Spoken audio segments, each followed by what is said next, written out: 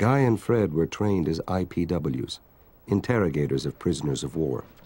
They became a team and stayed together until the end of the war. We sometimes interrogated when it became necessary for 48 hours straight. A spirit of missionary zeal pulsed through that outfit.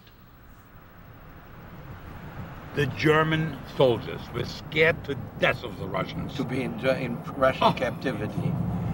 And that's when we started to play with that. Yes.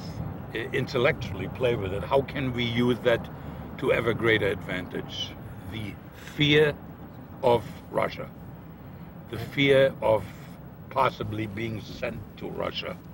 And then we came up with the idea that I would dress in a Russian uniform, which we took off uh, Russian liberated prisoners and from some German uh, who had taken them as trophies and stuff.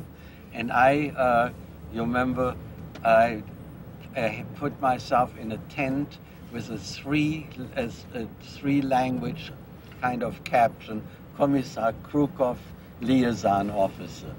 With a picture of Joe Stalin in the back, which we had gotten somehow, yes. and Johnny Kersner's road, uh, dedicated to my friend Kommissar Krukov, exactly. Joe Stalin.